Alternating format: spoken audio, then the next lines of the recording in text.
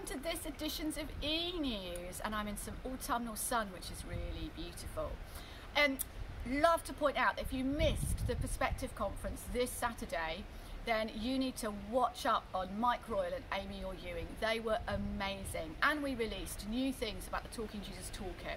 You can find all of that in e-news. And although I'm sitting here enjoying autumn sunshine, Christmas is coming and we really want you to but plug in and see all the great Christmas things that Hope has on offer for you to help your local church do mission and evangelism.